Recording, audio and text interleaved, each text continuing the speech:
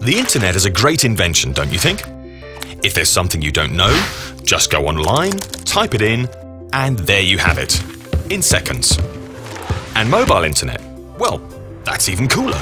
You can have the same information wherever you need it, and it's more eco-friendly too.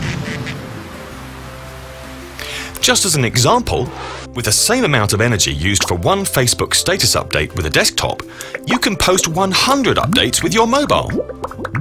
If only 10% of the more than 1 billion people using Nokia devices used their mobile instead of their desktop computer for internet surfing one hour a day, we could avoid over 2.7 million tons of CO2 emissions per year. This equals the annual greenhouse gas emissions of around 430,000 cars. Pretty heavy, right?